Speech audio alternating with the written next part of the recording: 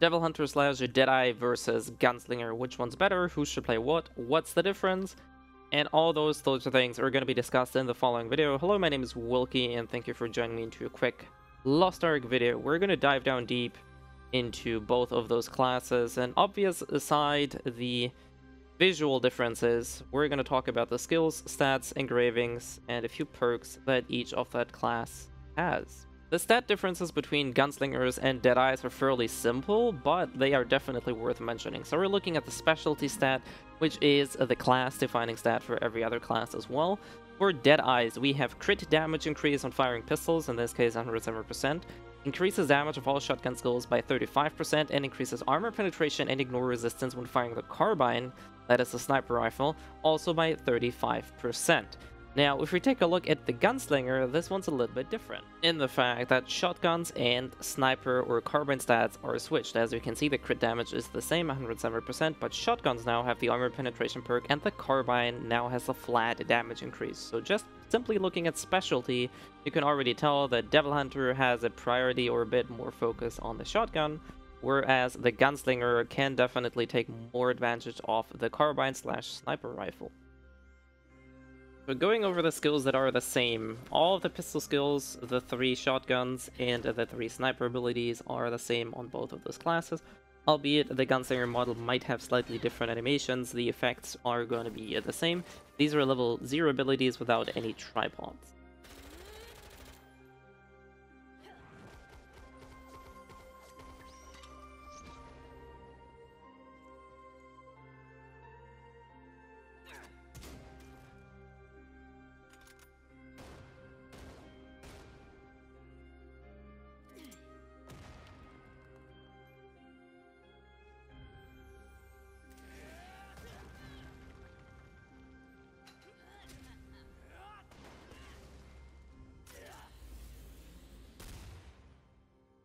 Going over the skills that are different for Devil Hunter, we have three pistol skills, two shotguns, and two sniper abilities that are different. So, Execution being a dash with a kick, Quick Shot, mostly used for PvP, and Cruel Chaser. Omen of the Apocalypse, Shotgun Ruler, followed by Triple Explosion, and finally Aim and shoot.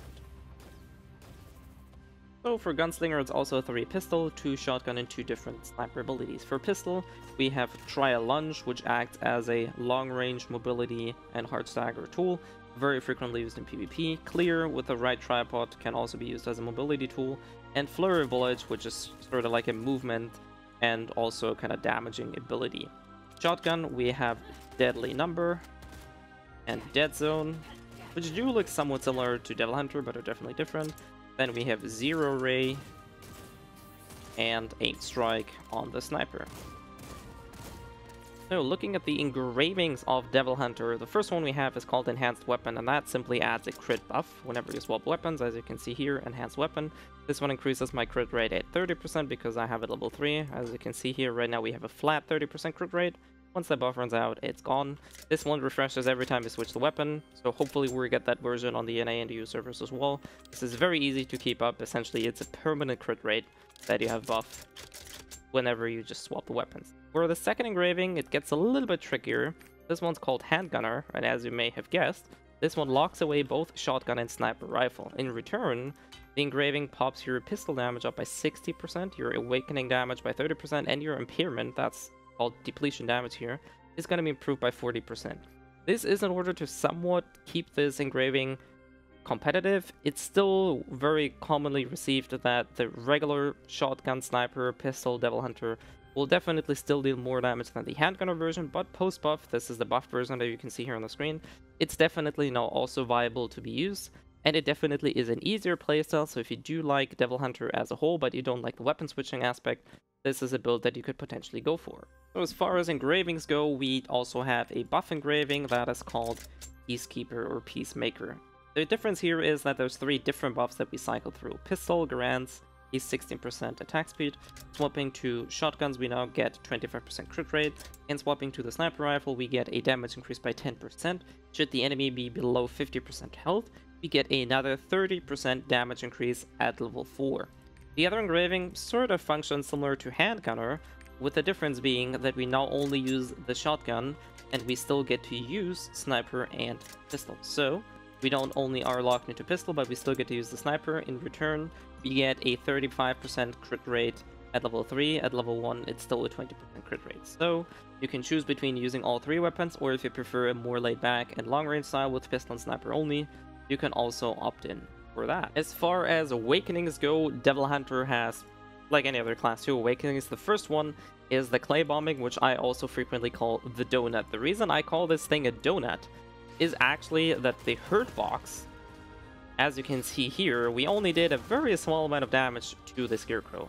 So the actual impactful damage is in that big explosion radius around us. So you can see here the damage is dealt in this, which is why I also very often kind of complain about this Awakening in PvP, because you do have to position yourself correctly. It deals higher damage than the other one, but in return it's a bit more annoying to use. The other one is a bursting flare, which essentially is, uh, I think they call it railgun or coil rifle, which fires three blasts in a very straight line. The range is actually fairly huge. Like you can still see that even if we don't see the enemy on the screen, we still hit it. Incredibly good, incredibly useful, but damage is lower. For Gunslinger's Awakenings, we have Predatory Gaze, which is a very high-powered bullet with a fairly okayish range, but a little bit of a slower activation range incredibly powerful, but only the main target. If you land this in the right time in PvP, you can sort of one-shot people. This can crit up to 100k. Like I said, drawback it's a bit slower, and the AoE is fairly small. Bombard, while dealing lower damage, has an incredibly large AoE. As you can see here, the explosion is huge. We're going to be hitting that if we're going to shoot at this Scarecrow here. Boom, you can see that we can hit those. So the radius of this is fairly big, albeit the damage is a bit lower, it's faster in execution and incredibly useful, even if it just yeet it out in PvP like this, boom, it's incredibly useful. If we were to compare playstyles, a lot of people would straight up say Gunslinger is better than Deadeye. I would not necessarily disagree, but I think it's more precise to say that Devil Hunter slash Deadeye is much more difficult to play optimally or to winge out the highest DPS out of the class, and that's for two reasons. First of all, Devil Hunters do rely on back attacks. For those of you who are new to the game, back attacks come with a 5% damage increase and a 10% crit chance. So this is really important because the added crit chance really helps Devil Hunters to shine, as well as the damage increase. Secondly, shotguns come with a modifier or a point blank modifier, which doubles the damage of shotgun abilities used if you are very close to the target. And that also includes auto attacks. So as you can see here, my hits are around 7, almost 800 damage here. Take a step closer, and all of a sudden my damage is almost 1600. So double damage for shotguns used point blank, except for Last Supper, but all the other three abilities, which are also our main damage dealing abilities, do actually deal double the damage when used at point blank range. So ideally you are behind the boss and very close to the boss as well, which isn't ideal considering Devil Hunter is a very squishy class, and especially later bosses are very frantically moving and scoring back attacks is not always possible. Handgunner is a little bit less on the back attacky side, you still want to score it, but it's not nearly as difficult, especially since you lose the dependency on being at point blank range, so that's why Handgunner is considered to be the easier version, but it also holds, in theory, less DPS. So if we're taking a look at the Gunslinger PvE playstyle, there's, well, the two drawbacks that we mentioned don't really apply to Gunslingers. There's two reasons for that. First of all, she doesn't have any of that double damage modifier. So as you can see here, I have two Scarecrows here. My damage in point blank deals around 100 per the fast hits. Or if we're just going to use this, you can see that the damage numbers are the same on both of those targets. The second thing is a little bit more hidden, and that lies in the tripods that Gunslinger can select. Shotgun Barrage, Deadly Number, and Dead Zone have a tripod that is called the Last Barrier.